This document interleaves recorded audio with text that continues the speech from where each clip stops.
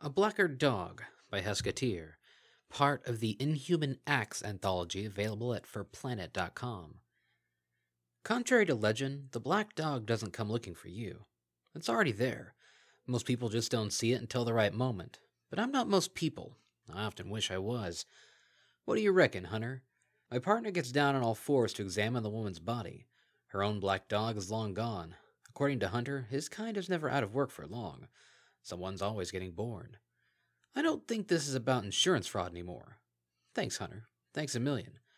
Hunter can't say if assignments are random or tailored, if they're specific to the individual. I don't want to know why I got a portly black Labrador in a trench coat and dark glasses, whose greatest joy in life is pepper jerky. As I watch, he sucks in the end of his current stick, chews, and swallows. Sorry, John. You know I can't do much without another dog to talk to. I'll call the police. Bodies weren't part of the plan for today, and the water's gotten too deep and murky for a little fish like John Mazza. Private detective is what I put on my tax forms and enter online when I'm asked to fill out my occupation. It never shows up in the drop down box for some reason, but the bulk of my work comes through this big property firm. I find out whether fires, missing deliveries, workplace injuries, and other assorted incidents and accidents are just people being people, or people being dishonest people. I am, when I'm being an honest person myself, a loss adjuster. The building I'm in is an old Victorian property, like all the houses on this street that didn't go in the Blitz. It's been split into flats, and the land it stands on, when the neighboring plot that's been sold already, would be worth more with new development on it. You can fit a lot more tenants in those purpose built jobs. All that was standing in the way was the fact that the house was a listed building. Try to knock it down, and the entire community's up in arms. Unless it catches fire first. Convenient for everyone, except the owner. And apparently someone else. The body isn't burned, or even marked. Smoke inhalation, I tell myself, just like a proper detective. We're way up on the attic floor, and nothing in this room caught fire, but the smell of smoke has drifted in, and a fine coating of ash has settled on the floor. Hunter sneezes and shakes his ears. It's an affectation. His paws leave no imprint in the ash, so he can't be breathing it in. He's just messing around because he doesn't know what to do. When I was a kid, I thought having Hunter would make me the best detective in the world. He could talk to other black dogs and give me the skinny, whatever that is, and I'd solve the case as if by magic. It works sometimes, and I've had a few successes, but it's hard when you can't explain how you got your evidence without bringing mythical beasts into it.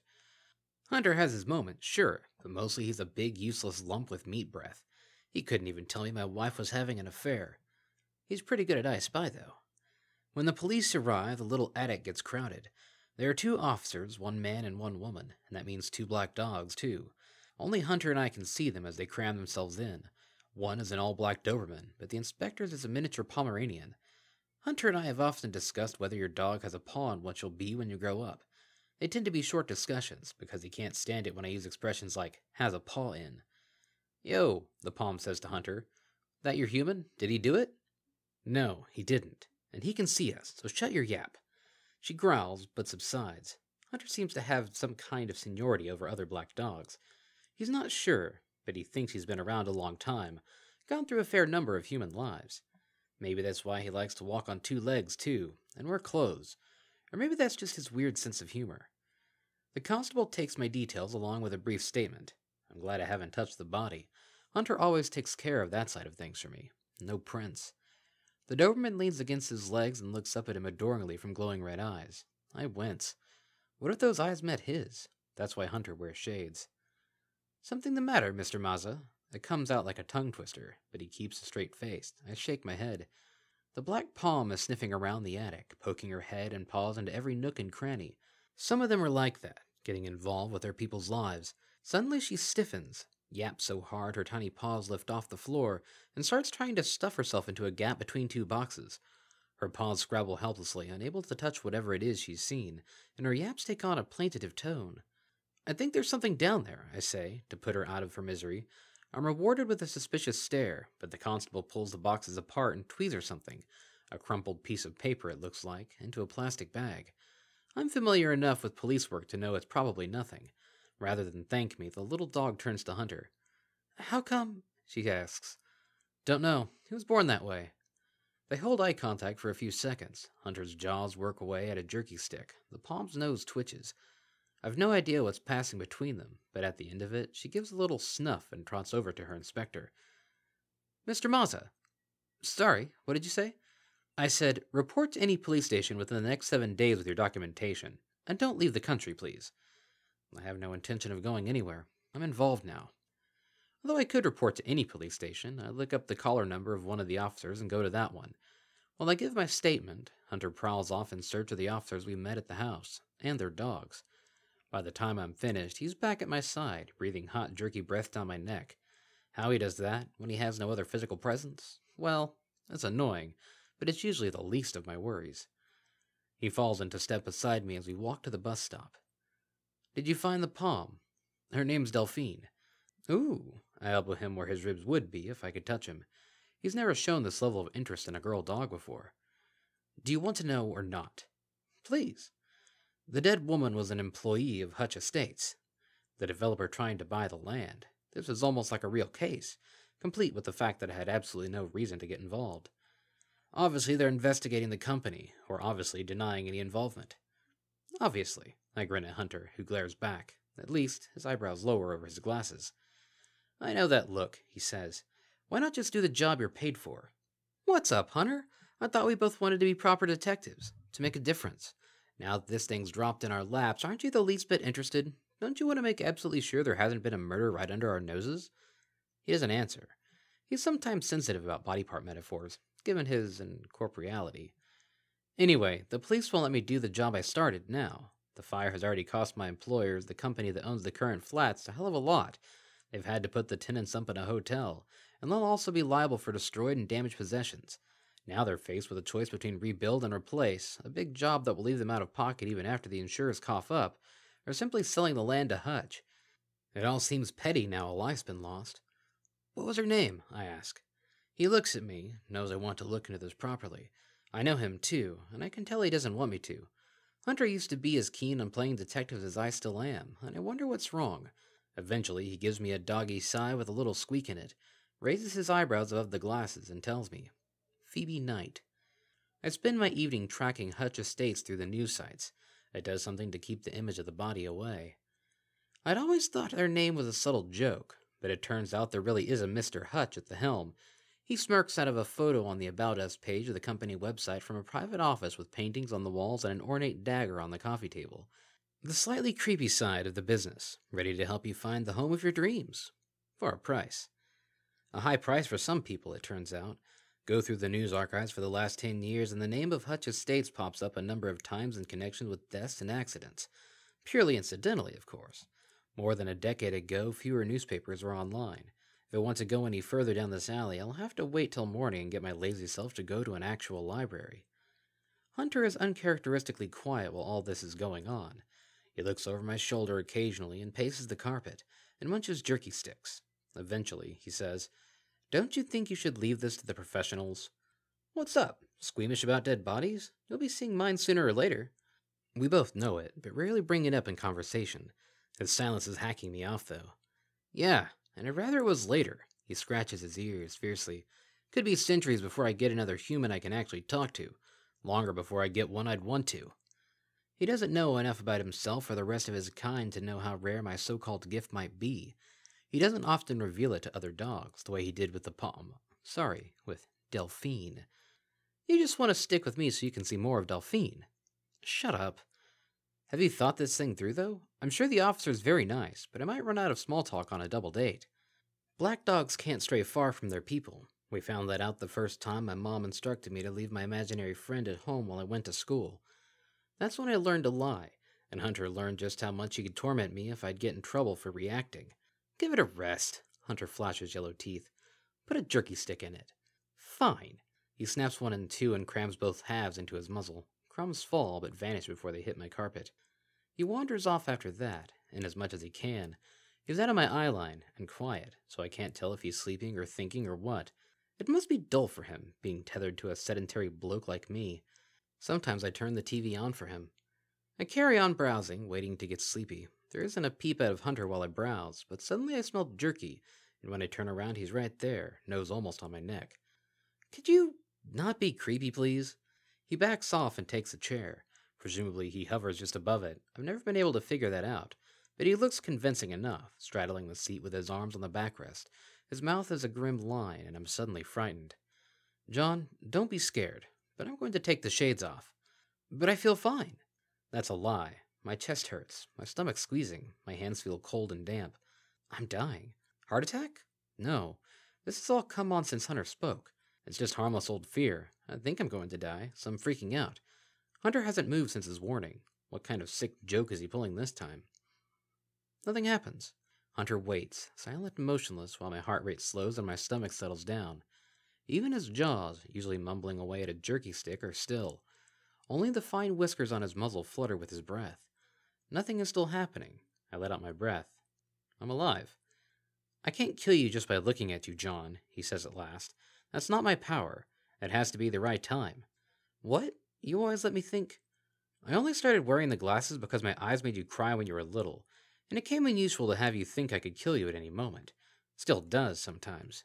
He at least has the decency to look ashamed at that. I remember you sitting next to my cot, I tell him. I was crying because I couldn't touch you. You were a cute baby. He whips the sunglasses off his nose. I squeeze my eyes shut and bury them in the crook of my elbow, then, embarrassed, peer over the top. His eyes. I've seen other black dogs, of course, with their eyes glowing amongst the dark fur like lit coals, but I've never let my gaze linger, just in case. Looking at Hunter now, I see I was wrong. Those aren't coals, they're holes. Tunnels straight to the pit of hell. My silly, funny, lifelong companion and friend has a direct eye line to the devil. They're like lasers. A light so intense the red burns back to black at the center and leaves a green splotch when I close my eyes. I'm scared that if I stare too long, I'll go blind, but warm dog breath blows across my face, breathing. Open your eyes! Open them! John! I unsqueeze my eyelids a fraction, peering out between the lashes like I'm trying to cheat at hide and seek. Hunter's nose is up against mine, so close I can see the pores glinting with moisture and the little hooks of his whiskers. Is his muzzle going gray? Can that even happen? His paw sweeps upwards, and even though he can't touch me, my chin follows until I'm looking him square in the eyes. I get to my feet, back away slightly. He stands too, eyes locked on mine. We're exactly the same height. I never noticed. My attempts to distract myself from those eyes aren't working. I try to focus on them, but my brain can't quite figure out where the focal point is. It's like staring down twin tunnels. The red points, pupilless, seem to shift and waver around. I feel myself going hot and prickly, though the hairs on my arms are standing up on end. John? Hunter's voice seems to come from a long way off. The heat is flushing my face and making my heart race. John, I can't hurt you, and neither can my eyes. They're weird and scary, but they're not fatal, all right? Trust me. And I do, because he's been the one constant in my life. A constant that nobody else can see, but if I stop believing, I'll know I'm mad. I stare until Hunter is just Hunter, his tummy bulgy under his trench coat, his tail poking stupidly out of the hole in the back. My best friend, my partner. Sure, he has two glowing holes in his face, but nobody's perfect. Hunter puts his shades back on. The room seems to grow lighter, and I realize I have a headache. I set about going to bed, pottering in and out of the bathroom while Hunter, who doesn't have a bedtime ritual, certainly not brushing his teeth, lounges against the wall and watches. When I get into bed, he shrugs off his coat and curls up on it, turning around to get comfortable. Why did you do that? I don't mean the turning around. He's been doing that ever since I can remember, and he doesn't even pretend he thinks I do. His paw tilts the frame of the glasses forward a fraction, so I get a searing flash of red that makes me blink, then replaces them. Because if you're going to go through with this, and if this is what I think it is, you needed to see what I've just shown you, and know what I've just told you. Well, thanks, I guess. Good night, cryptic dog. Good night, silly human. I could get used to this proper detective stuff. Unfortunately, none of it is working. I never see Hutch arrive at the offices of his eponymous company, or leave them, despite long hours on stakeout. I'm no stranger to waiting, a lot of my work catching out benefits cheats involves lurking outside their houses, poised to photograph them in the act of something a person with a bad back couldn't manage. But after a week, it's dispiriting. Besides, nobody is paying me for this. It's amazing how the thought of an hourly rate can leaven up sitting in a car for hours. I drop in on the pretext of looking for a luxury Docklands penthouse, but I can only really do that once. Hunter tries snooping around while I do, but he can't get far enough in without me following. I get a little of my paying work done in the evenings, on the internet, but a lot of my time is taken up by trying to glean information about Hutch online. He has a business profile with links to a few contacts, but nothing personal. Nobody tags him in photos. He doesn't have a gym membership, and he doesn't seem to stay at hotels. Even his home address is a mystery. I can only work on the personal data the companies are legally able to sell, and he's been careful about giving that away. He must really, really hate getting junk mail. It's Hunter who gets me my interview with Delphine's inspector. We've gone through what I'm going to say. The big black idiot thinks he knows my job better than I do now, but none of it is having any effect until he takes the black Pom aside and whispers to her. Whatever he's saying makes her quiver a bit, then she jumps up into her human's lap and snuggles in. The inspector can't see her black dog, or feel her, even when Delphine is licking her hand, but something must be getting through because her attitude shifts from unhelpful to, I'll think about it, to letting me accompany her to Hutch's office. After lunch. It's practically a date now. Hunter insisted it had to be the inspector, too. When any uniformed officer would have got me through the doors, he's gone all professional again, but he is never going to hear the end of this Delphine business. Lunch isn't a date. I've blagged my way into it with wild claims of being able to provide evidence against Hutch. I have no idea what this evidence might be, and I really hope Hunter has. And now Inspector Ruxley, her first name is Anne, just wants a chance to decide whether I'm genuine or a nutter. It's not easy to prove the former, when at least half my mind is on Hunter and Delphine. They're definitely flirting, and I don't know whether to be disturbed. Hunter walks on two legs and wears clothes, and it feels wrong that he's hitting on what is to all appearances a dog, be it a talking, invisible one, or amused. Just as long as you understand the risks, I hear him say. I have to cover a laugh at this outrageously old and corny trick. Oh, baby, I'm so wild and dangerous. John, I begged you to drop the Mr. Mazza stuff as soon as we left the police station. Mm, sorry, what? I just asked why you were so interested in this case. Oh, just a hunch. Now I'm coming out with the corny lines, too, but Anne nods. I think more police work revolves around hunches than any of us want to admit. By the time lunch finishes, I don't want it to. I've been in a pleasant little bubble that definitely isn't any sort of double date, and as far as I'm concerned, the real world can get stuffed. But Hunter is already at the door, staring out at the rain. He's not wearing his shades anymore, hasn't since the night we practiced gazing into each other's eyes. Delphine skips after him and, as if attached to an invisible lead, Anne puts her credit card away and stands. Every time I've visited the Hutch estate, I've been sent away with a flea in my ear and my tail between my legs, or so I told Hunter, to annoy him. Anne just walks in and shows her ID. We'd like to see Mr. Hutch, please. And, just like that, we're in. The receptionist talks urgently on the phone, too low for us to hear, although Hunter pricks up his ears. Then we're being led through a door I didn't even notice on my reconnoitering trip, along a corridor and into the office from the About Us picture. All that fine detective work hitting the search engines, and what I should have done is visit the nearest adult shop for a police uniform. Hutch, like his office, is just the way he appears on the website photo graying hair, lined, aristocratic face, dark eyebrows. What the website didn't show, because it won't show up in photos, I tried often enough with Hunter, as a boy, is the black dog at his side. It's not any breed I recognize, though if I had to pick, I'd probably go for Hellhound. And it's black, blacker than black. Hunter's coat has that well fed Labrador gloss to it.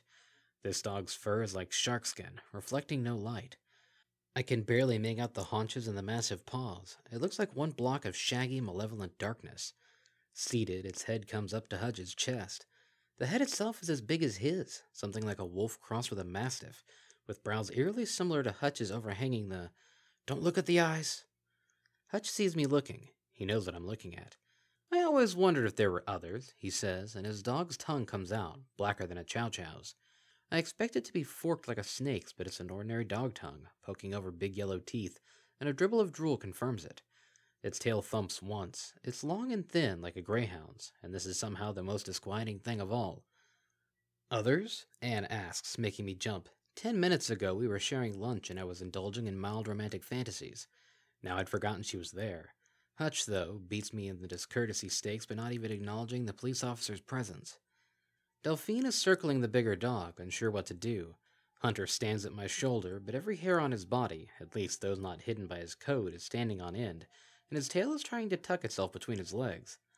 I've never seen him like this before. I never imagined a situation where he couldn't take control, wise, implacable, and protective. We have evidence that you were involved in the deaths. My voice is a croak. There is no evidence, and I don't know where I thought Hunter was going to pull it from. He lied to bring me here, so he could what? Turn me over to this man and his terrifying dog? It can't kill me. I remember that from Hunter's little pep talk. It can't kill me. It kills Anne. That great head snakes around and the red eyes target her like lasers, so I can see their glow flicker across her face. She frowns, brushes the hair from her forehead, and turns in the direction of whatever she's sensing. I shout a warning, but her eyes widen and I know she's seen it. Hutch's dog shocked me, and I've been seeing the black dogs all my life. I can't imagine what it must be like for Anne in the brief time between the apparition and her hands going to her chest as she sinks to her knees and topples face forwards. Delphine shrieks as though every bone in her is being crushed and runs to her human, but before she can reach Anne, her body is dissolving like ash and whiffs away in black smoke. At least she'll come back, unlike her human. Now we can talk, Hutch says pleasantly. It's not him I want to talk to, it's Hunter. Hunter, who told me only your own black dog can open the door between life and death, and even that only at the right time. He lied again. But one look at him, and I see he didn't know he was wrong. He's panting with distress, and the pale rims of his eyes are showing around the red. It's nice, isn't it? Having a lifelong companion, a secret nobody knows. Hutch's hand reaches down and he caresses the air above his dog. They can't touch each other any more than Hunter and I can, but it leans into the stroke and rumbles, ears submissive. I thought I'd use mine to make money. Well, you are a loss adjuster? You visited my offices a couple times in the last week. I'm a private detective. How sweet. A boy and his dog. You're killing people over the property market? It's a very lucrative market. I don't kill people often. You have to be careful. Mostly I use Charon here to find information for me and to influence my business contracts. It's a little like being a private detective, I imagine.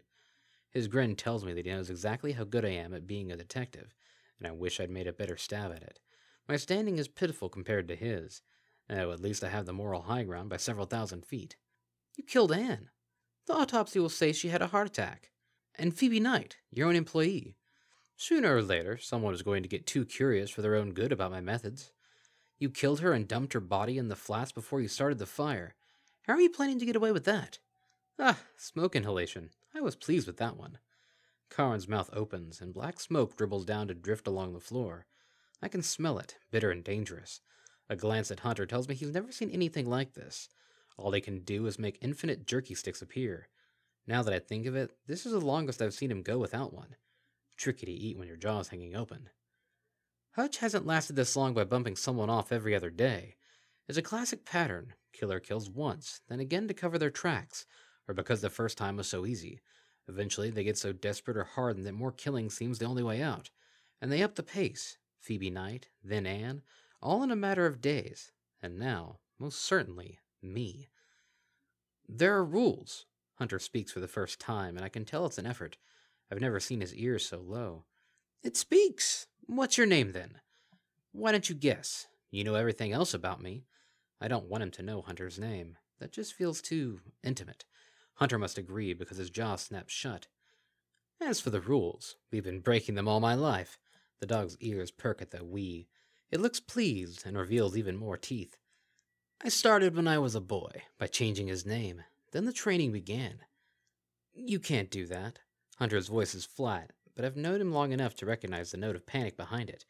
It's the voice he used when I scared myself into almost drowning at the beach, and he had to talk me back up onto the sand. You need a strong will to disobey, and a stronger one not to pop out of existence once you have. He leans back and smirks, and the dog Charon tips its head up in an ecstasy of pride and love. I can teach you if you like. Your dog's a little tubby, but he can train. Would you like that, boy? Like to influence the world around you with more than your mouth? You've got such a wonderful opportunity here, both of you. Stick with me and I'll show you. Here's where we pretend to go along with his scheme until we can get out of this and get Hutch arrested. Unfortunately, Hunter didn't get the memo. He's so used to nobody being able to hear him except me, he's gotten lippy. And now it'll be the death of both of us. That's not what I'm for, and it's not what he's for, he snarls. You, Charon, snap out of it and do your job, you pea brain. I wonder if, despite the dog's size and sinister appearance, it's actually as dim as Hunter is suggesting. It hasn't said a word, just smoldered and menaced, and I wouldn't let a slimeball like Hutch mold me into a tame executioner. I hope. Charon, kill them. The human first, so the dog can watch. I jerk my head away and stare fixedly at the ceiling. A lifetime of dodging red eyes doesn't go away overnight, in spite of Hunter. John, Look at him. Hunter has lied, or been mistaken, so much in the last day that I have no reason to trust him. No reason, except the whole of our lives together. If he's wrong, Charon will kill him as well. and I don't want to live without my invisible partner. I turn my head slowly, peeking out between my eyelashes. Looking into Charon's eyes is like getting close to an incandescent light bulb. After only a few seconds, I can't tell the eyes from the dancing green ghost they leave on my vision. The rest of the room seems to dim, and there's a sharp smell like the head of a match. My ears are buzzing, and I'm hot all over. He can't kill you. It's not time. So far away, Hunter's voice, and so sad. I look at Charon, crouched and bristling, staring at me with such sizzling heat its eyes are turning white. If looks could kill, I think, and want to giggle. Outside the walls of this room, the rest of the world is carrying on its business. I can hardly imagine it. This, here, this is the whole world. This is the only thing that matters. That's when I realize this is the job Hunter and I have to do to get rid of this hellish partnership that's upsetting the natural order of things. It's why we were put together and why I can talk to him. It may be why I push this investigation so hard, though I could probably still blame pride and boredom. We should have spent all our time practicing for this moment, not messing around and bickering. Too late now. The heat washes over me, but it doesn't hurt. It's like putting my hand close to a flame, but not too close. Just as long as I keep Hunter's reassuring voice in my mind, I'm fine. Everything's fine. I hold Charon's baleful stare and smile in the face of the black dog. I've been thinking so much about dogs, I forget people can be dangerous too. Switch, calls Hutch. Charon's gaze flicks away. I blink and shiver out of that heat, that light. I'm only just ready for Hutch and the knife he's grabbed, the one from the website picture. I shift my body left and catch him as he comes. Even as the pain arcs across my side, I realize he knows this is the showdown. He can't explain away a stabbing in his own private office, performed with his own private property. I've never been stabbed before, I want to recoil from the shock and pain and just curl up in a ball, but my body has too much forward momentum, and I grapple Hutch to the floor, twisting his arm back so he's forced to drop the knife. As we roll and wrestle, I try not to notice how much blood there seems to be on our clothes, our hands, the carpet. A second pain cuts through me, and I think Hutch has another weapon, but he's pulled away, grabbing at his own chest.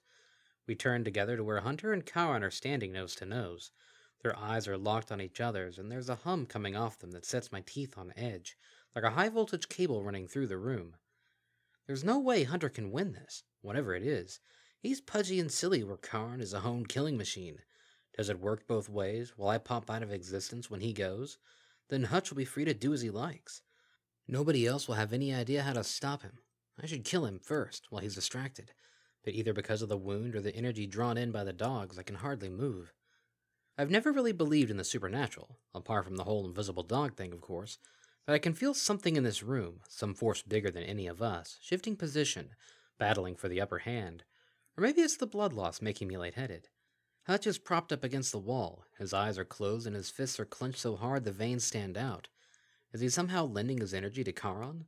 Madly, I'm jealous of the connection he has with his dog. Hunter is my pal, my partner, but wait. Hunter is the closest friend I've ever had. He's seen and heard everything. We have no secrets. I've never trained him the way Hutch has trained Charon, because that's not what friends do. Hunter! My mouth is dry. Hunter, get him. His gaze never shifts from those other eyes, but an ear flicks and the tail gives a tiny wag. I see a shimmer surrounding the two dogs, a white glow. Charon looks smaller now, and that head is just a dog's head, not a monster's. While Hunter, his stupid trench coat has fallen from his shoulders, his flat lab fur is bristling, and his ears are cocked. He looks more like a wolf than I've ever imagined he could. I'm helping. I'm assuming that's the right thing to do. Hutch lets his breath out in a hiss, and Charon's chest puffs out as the dog regains his strength. Hutch is helping too. We can't have that. I push myself up on one arm, lunge forward through dizzy waves, and punch him in the nose. It's not elegant, but it does the job. It's a punch for Phoebe Knight, Anne and Delphine, and for me and my dog. Hutch gasps, and Charon breaks eye contact. No, no, no! One hand on his nose, Hutch flaps the other at Charon. The big beast reacts as if it's been kicked, bows its head, and shrinks into itself, and keeps shrinking. Hunter towers over the other dog with eyes like looking at the sun through a pinhole. Charon whimpers, rolls over, tries to wriggle away on its back towards Hutch, who is looking at him and at Hunter with astounded fury that changes to horror, then grief. Neither human nor dog is paying any attention to anything except each other. Charon wags feebly, pawing at Hutch's knee. Hutch shifts his hand, wanting to pat, to comfort. It's all wrong. Charon should be easing Hutch's exit from the world, not the other way around. I guess that's what happens when you break the rules. I slip a hand into my pocket and touch my phone. Home button, then the bottom left of the screen, where it says emergency, then three stabs where the 9 will be. I've practiced this, though I never thought I'd really use it. As I make my third press, so faintly I hope it registers, the big black dog folds in on itself, flattening to a black burned stain on the carpet. Hutch is running his fingers through the air where Charon was.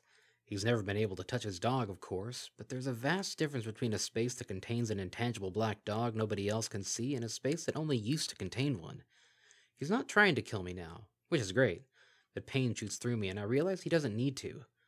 The fire in Hunter's eyes isn't white hot anymore. It's faded to a cozy pinkish red, like the bar of an electric fire, and I wonder how I could ever been scared of that comforting familiar glow. Hunter? I drop to my knees and beckon him over. No wonder he looked sad earlier when he told me it wasn't time. He knew the time was coming, and soon. But that's okay. It hurts a lot, and I want it to be over. I get it now. Your black dog isn't the bringer of death I always feared under Hunter's daft, playful exterior. Its familiar presence, revealed at the end so you'll have company while everything else fades away. And I want a piece of that. Hutch won't hurt anyone else. My work is done, though good luck to whoever has the job of trying to sort out what the hell happened in here. I hope Hunter's next gig is a good one. He's a good boy. Here, Hunter. From the cradle to the grave, Hunter. Till death do us part. Hunter, why won't you look at me? I slide out of the hospital bed and walk over to the window holding on to the furniture as I go. The doctors tell me I shouldn't be alive. I lost half my blood, my body shut down, brain too, but my heart just wouldn't stop beating, even when they turned the machines off. It was a nurse who told me the other thing, how I burst from unconsciousness calling out and looking wildly around. It took three of them to tidy me back into bed and squirt in some drugs. The ache inside me isn't from the wound. It isn't from the needles and tubes and the harsh mixture of medicines. It's the loss. I didn't even see him go, but I knew, knew before I was even conscious. Hunter broke the rules by not helping me to my death, and now he's gone. I can only hope he's been reassigned, some other cute little baby, this one blissfully unaware of his presence. But for all I know, he's the one who ceased to exist, instead of me. For the first few days, I kept expecting a new dog to pop up, a fluffy puppy, the mirror of my fantasy new life for Hunter. But nothing. Seems my black dog privileges have been revoked. There's only one person who can know how this feels. Now we really do have something in common. But I can't, I won't seek him out. I remember what he said about a strong will. If mine had been stronger, if I'd been a smarter, tougher person, could I have saved Hunter from vanishing out of existence? It's not fair. Hutch and Charon broke the rules for years and got away with it until we came along. All we did was set things right. We didn't deserve to have it go so wrong for us instead. I wonder what will happen at the end. I'm not stupid enough to imagine I'm going to live forever. Now there'll be no hunter to lay his paw just above my hand, the closest he can get to touching, and send me on my way with compassion in his kind, wise eyes and jerky on his breath. My room looks out across a square, with the river in the distance. I watch the people crisscrossing from one street to another, hurried or chilled, on business or just strolling. They're all reasonably decent people, probably. I've removed, I've helped to remove, a threat to the nice people, someone who'd cheat them out of their money and, when it suited him, take their lives. It's what I grew up wanting to do, and I should be pleased, but I can't help feeling that the whole lot of them aren't worth what I've lost. The black dogs trot at their heels like second shadows poodles and cockers, big Newfoundlands, and tiny chihuahuas. Anything that comes in black, and plenty of mongrels, too. From up here, their eyes are tiny sparks. I flit from one to the next, hoping for the flap of a trench coat or the glint of sun off a pair of shades, but nothing. Following my own wishful thinking, he's beside some newborn's cot. I'll keep looking, Hunter, boy. I'll never stop. All those people, and I'm the only one who knows that none of them is alone, or has to face the end alone. While I am, and I must.